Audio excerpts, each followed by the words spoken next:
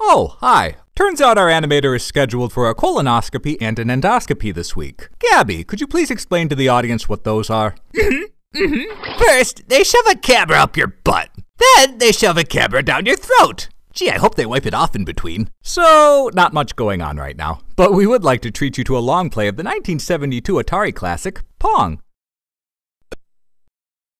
Yay! You cheated! Yes, by using the ultimate cheat device, my intellect. Oh, I knew you cheated! Well, two can play at this game. Okay, Google, find me an intellect. Preferably new in box.